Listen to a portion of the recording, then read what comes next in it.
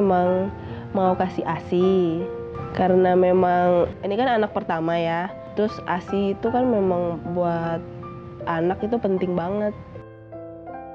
Jadi awalnya memutuskan untuk pakai botol aja, nggak mau breastfeeding kan, katanya takut nanti bisa lecet, tuh gitu manja anaknya nggak susah copot. Ya udah deh, pakai botol aja, udah gitu.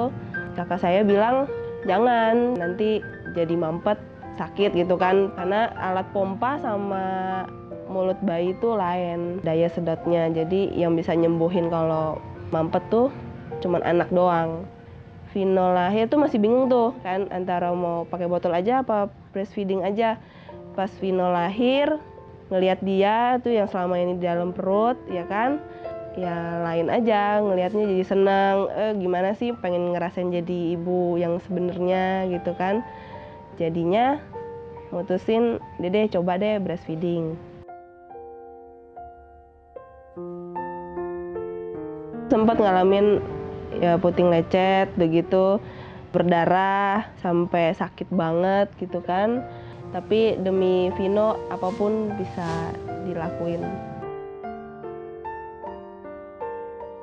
Jadi alasan pakai dokter Brown ini emang udah direkomen banget dari kakak-kakak saya. Jadi dua kakak saya itu udah pakai dokter Brown jadi udah nggak diraguin lagi keunggulannya. Yang saya rasain sih Vinonya lancar minum susunya nggak nggak kembung nggak kolik ya yang pasti. Itu yang ditakutin semua mama-mama kan. Dan ketika pakai Dr. Brown kegiatan menyusui antara menggunakan botol dengan breastfeeding jadi nggak nggak susah Vino juga jadi nggak bingung puting dan saya jadi lega Jadi pas umur Vino setahun, jadi saya sempat nyobain botol lain, tapi memang lain ya.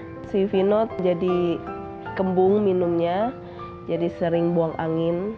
Kalau pakai Dr. Brown nggak pernah, baik-baik aja. I love you Dr. Brown.